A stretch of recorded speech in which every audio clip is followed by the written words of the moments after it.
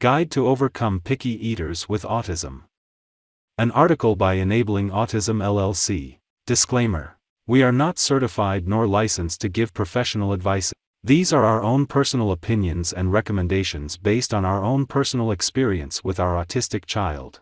Please use sound judgment and consult with your child's doctors, therapists, and specialists. Before we start, please subscribe and like this video to support our efforts in sharing information to parents as well as creating learning contents for our autistic children.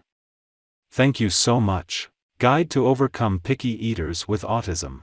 Picky eaters are common in both children with and without autism. However, children with autism are more likely to experience mealtime difficulties such as highly limited food choices, rigid eating habits, and food related tantrums.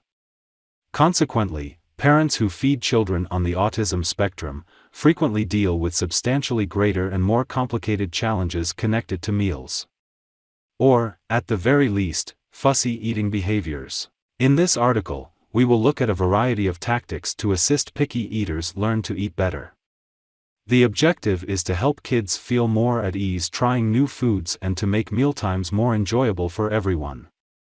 Our end goal is to establish a consistent meal, snack routine and enable the child to consume a variety of healthful foods that are consistent with the family's overall meal plan. Number 1. Rule out gastrointestinal, GI, or medical issues. Parents should reach out to doctors and pediatric gastroenterologists when a child on the autistic spectrum is having feeding problems because they can rule out medical factors. Children with autism frequently experience gastrointestinal distress, and many of them are having difficulty to express their discomfort. Your child's doctor can assist you in determining whether this is the case and how to proceed. As a result, parents need to be proactive about attempting to find the cause of their child's discomfort. Here are a few of the more typical GI problems that kids might encounter. Acid reflux is common among children. However, with children on autism spectrum, the disorders might directly tie to behavioral abnormalities, such as extremely hyperactive, jumping or acting irrationally, or crying in the time that the acid backs up in the child's throat. Eosinophilic esophagitis, EOE, an allergic swallowing condition. This might cause children to experience gagging or choking sensations while consuming food. It can produce pain and discomfort that almost always leads to behavioral problems in children with autism. Bowel movement issues that is linked to a child's diet. Diarrhea. This can be from the child's diet but can also result from the malabsorption of some sugars or from the GI system moving quickly, which does not give the stool enough time to firm up. Constipation can make eating very uncomfortable for a child who feels full or has a stomachache, whether it's brought on by a restricted diet or delayed toileting, which is very common in children with autism. Number 2. Keep snack, mealtime casual and fun. Children in general can be rebellious. They would want to do the opposite of what we want. If we approach snack, mealtime as a task, they might read off that and will fight us, because they can. Therefore, Establishing an upbeat routine to snacks, meals, whether playing some music in the background, or sing some lullabies to lighten the mood is highly recommended. Give out praises for every positive progress. Oh, such a good boy or girl, way to go strong, your child's name, finish your food then we will go play, whatever games they enjoy. Number 3. Establish a reward and consequence system for mealtime performance. Communicate clearly with your child what will await them once they have completed their food. Whether their favorite videos or favorite toys. I highly advise against having videos on and front of the child. That should be used as post-meal reward. If they do not behave appropriately during mealtime, please carry out the consequences by withholding the rewards. Be firm on this and you might experience many meltdowns before it is fully understood by your child. I often have a little sweet such as a piece of well-loved chocolate or candy at the of well-behaved mealtimes. With this, the child has something to look forward to immediately. Number 4. Use a timer. Communicate clearly with your child on how long snack, meal will last. This way, the child will know that there will be an end. I would want to recommend 10 to 15 minutes for snacks and 30 to 45 minutes for meals. You can adjust to reasonable duration and portion that best fit for your child and increase success rate. The key is having the countdown timer. I find that my son is more rushing through his food with a visible timer. Number 5. Establish daily snacks, meal schedule. Parents usually make up for poor performance meals with extra snacks. That could be the mistake that will further diminish next meal's performance. We have to test out portion and frequencies to best fit each child, but a consistent schedule is really important. Here is the schedule for my son that you can use as a guide. Breakfast around 8:30 to 9 a.m. Light breakfast. We start out with light warm honey water. Then an 8 ounces of kid protein drink such as Pediasure or Orgain, and some lightly toast bread. Mid-morning snack around 10:30 a.m. 1 tube of squeeze yogurt and water intake. Note, no calories drinks, just water.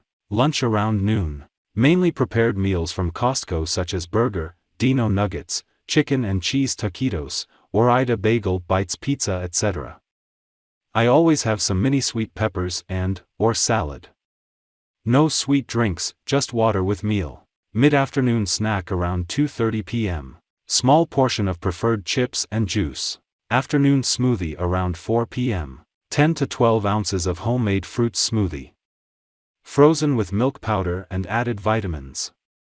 Water intake after smoothie. Dinner around 6.30 p.m. Because no solid food since 2.30 p.m., dinner was desired and often consumed at pace.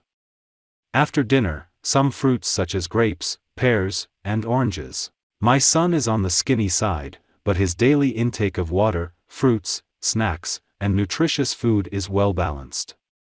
You can shift things around to best fit family schedule and your child needs. The key is to limit snacks between meals and at least 90 minutes before meals. Children will feel full from calorie-rich beverages and lose interest in main meals. No food after 9 p.m., unless special occasions. Number 6. Establish dedicated snack-slash-meal stations. The key is to only serve and allow food to be eaten at designated area. For my son, the kitchen island is for breakfast, lunch, and snacks. Dining table is for dinner. I don't allow snacks to be eaten on sofa or anywhere else. This way, we set the tone and expectations for our children. Number 7. Introducing new food slowly. When introducing new food, serve it with known less desired food on the same day. Eat them first and have positive feedback without making eye contact. Your child is observing and would be curious about it. Don't offer the first time as she he might not be too convincing. When it is time to offer, don't ask, just break off, get a very small portion and put over on their plate. Don't say anything, just a gesture to try and continue with eating. That way, we remain neutral and let their curiosity kick in. Serve lunch or dinner about an hour later than normal to increase willingness to try and serve out small portion of the new food. The success rate is much higher with this approach. Number 8. Offer controlled choices. When the child is making choices of their food, she, he is more likely to eat it. So when you offer the choices, make sure you are okay with any of the selections. For example, I offer my son mini cucumber, mini sweet peppers, and salad as options for vegetable. Regardless of his choice, I will be happy. Number 9. Involvement in dinner preparation. If it is possible, involve your child in the preparation of dining table. As simple as carrying up the salad bowl, getting utensils, or place a napkin at each seating. Give out praises on each task completion. It is very good for the child to be part of the process and she he would be more likely to be civil at the table. Number 10. Be consistent, persistent, and patient.